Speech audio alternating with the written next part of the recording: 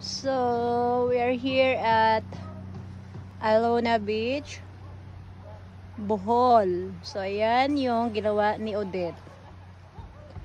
Ito yung Blue Water Dive Resort na walang katao-tao. Yan. Mag-isa akong nag-check-in ata dito. So, solo ko yung solo ko yung ano dito, hotel. Ayan. Tapos napakaganda yan dito dati. Ngayon, sinira.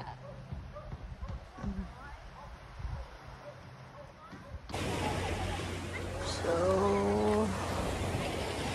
Alona. Diyan, walang tao. So, we're going there if what it's needed there. Then there's a lock.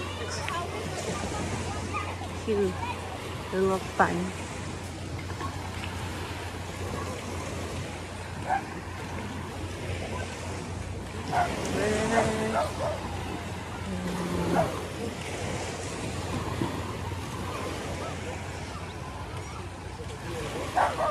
What's in there?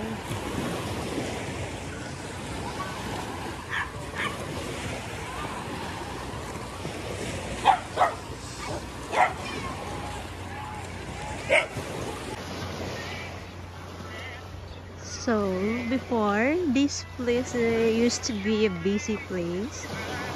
Then, after Odette hit there, I mean, after much of Odette, ayun, ganyan yung style niya. It's supposed to be here, there is uh, always a, um, how do you call that one? Um, fire dance. And then all the pool, swimming pool here are ruined. Broken. Tapos maraming mga banda yan dati dyan. Wala na. They're all gone because of Odette. It's sad life. So, but it's still the the white sand is really nice. But there's a lot of leaves and go.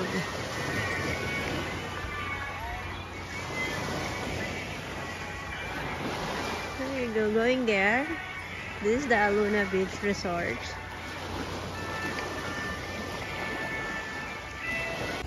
So, buffet pala yan. So, diyan, may buffet. So, pwede tayo dito mag-Christmas. Mamaya, babalik tayo. Ayan. I have to change dress na lang. Ayan, si Kuya. Pamahal ng ano ni Kuya. Suwaki. Isa nagsaom mo na, Kuya. Ha? Isa na nagsaom. Bigyan na ako. Oh, ano, mong pinsan? Ah. Oh, suwaki ni Kuya. Suwaki. And buffet. Buffet sa natin, di ba? Okay naman, mag-Pasko dito, mag-buffet. Diyos ko miyo, ka Pasko ma. Yan. Ang hagupit ng